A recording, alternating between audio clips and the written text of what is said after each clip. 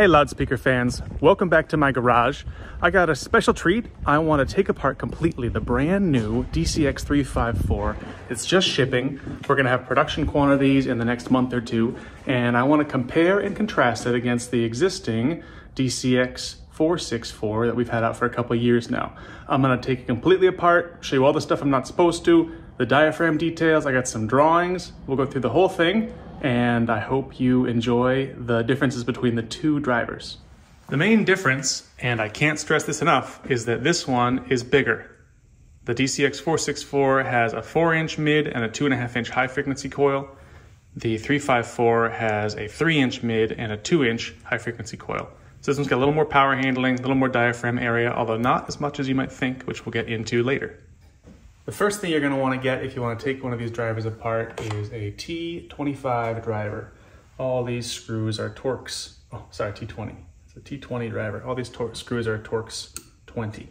And both drivers come apart pretty much the same. You can remove the high frequency motor.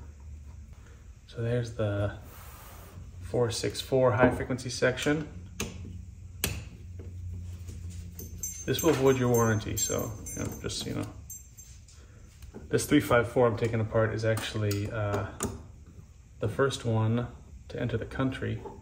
I have one on my desk from NAMM, and I opened it up hoping to do this video, and uh, there, there's nothing inside of it, so I had to get another one. So some details are immediately apparent. I want to show you the basic construction between these two drivers is pretty similar. The energy comes off of this high frequency diaphragm.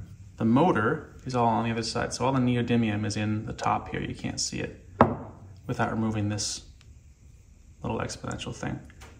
The energy comes off here and then follows this all the way out to the exit. And it meets up with the mid-frequency energy right here. The mid comes out of these holes here. This is a patent pending device called a uh, impedance mismatch device. And that's what lets us have that really wide frequency overlap where you can see the, the high frequency and the mid frequency on the 354 and the 464 overlap for most of an octave. So there's a couple challenges in the smaller driver, the DCX354. The challenge number one is you want to keep as much low frequency capability as practical. Uh, but here you are losing a lot of diaphragm area going from a four inch to a three inch coil. Challenge number two is because the high frequency driver is smaller, you need actually much more high frequency extension out of the mid coil to meet up with the high. So you sort of need it to become um, even more complicated because you need the, the high frequencies to go further without losing much low frequencies. And I've always kind of said that um, it's not really practical to get more than maybe four octaves out of one diaphragm. That seems to be the limitation for a lot of our high frequency driver designs. And uh, that's certainly true here, but we found a new trick, which is why it's subject to a patent. So there's the two motor structures. This is the mid-frequency motor, this is the high-frequency motor, and these are the two diaphragms. You can see uh, there's a lot less diaphragm available, area available there on the 354. The main difference is in the construction. The 464 diaphragm is a straight V. So there's a surround kind of here. Maybe I can get an awl so I can point a little better. Here we go. So this is the surround diaphragm. Coil attaches down there. And then the same side, it's equal length. Diaphragm, and then this little bump here is the surround. On the 354, there's, this is the subject of the patent, there's the coil, diaphragm. This little bump is not the surround. It is a ledge. This is the surround here. This is the ledge.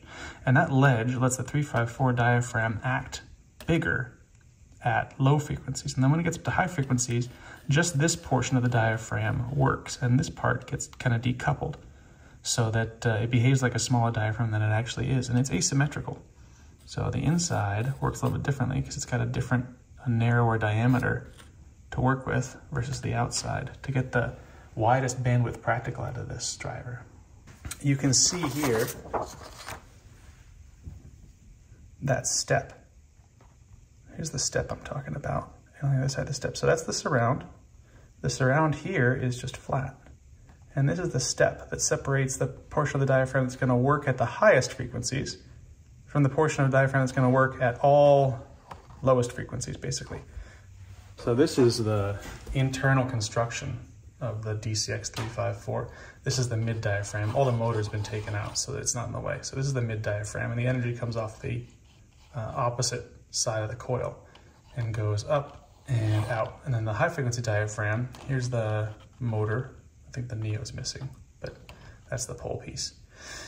And the energy, it's driven by the coil here, and then the energy goes through this little slot. What this drawing really shows well is the location of the impedance mismatch device here. We cut off the little um, crenellations so that you can see the path, but that's, it sits right there.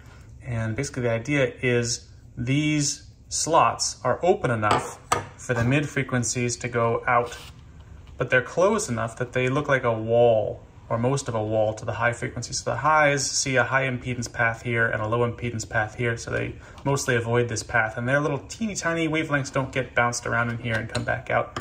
Whereas the mids can go right through and you can see on the production driver, this is the 464, the, this is the sort of phase plug slot. The diaphragm sits right here and the energy from the diaphragm goes through that slot and around and then comes out these holes here, recombines with the high frequency energy, and then continues on down this pointy thing.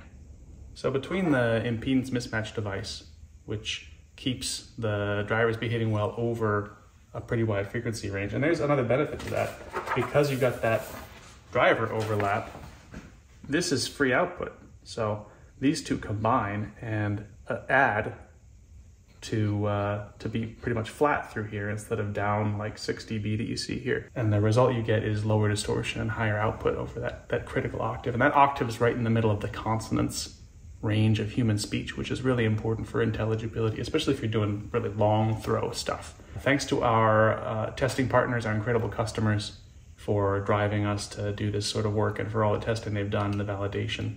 Uh, and we're really glad that this big bet that we started taking back in 2015 has finally paid off.